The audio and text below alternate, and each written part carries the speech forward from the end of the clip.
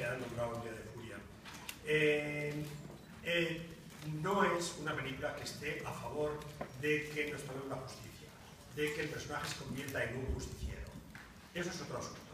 Lo que mi hermano hablaba de los sociópatas que de pronto entran en una hamburguesería y, y se cargan a todos los clientes.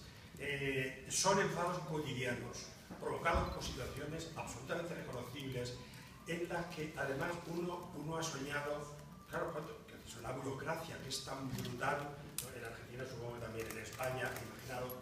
Eh, entonces, claro, mm, yo no conduzco, pero, pero me identifico. Es decir, no conduzco, no sé lo que es la frustración de tener un coche, que te lo hayan llevado, etc. No conozco eso, pero me identifico absolutamente con, eh, con Ricardo.